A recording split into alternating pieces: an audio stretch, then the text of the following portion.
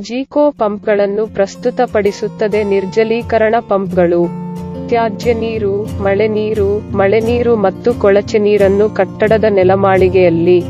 ಹೋಟೆಲ್ಗಳು, ನಿರ್ಮಾಣ ಸ್ಥಳಗಳಲ್ಲಿ, ನೀರಿನ ಮರುಬಳಕೆ ಅಪ್ಲಿಕೇಶಗಳಲ್ಲಿ ಕೆಸರು ನೀರನ್ನು ಅರೆಘನ ಮತ್ತು ನಾರಿನ ನೀರಿನಿಂದ ಪಂಪ್ ಮಾಡಲು.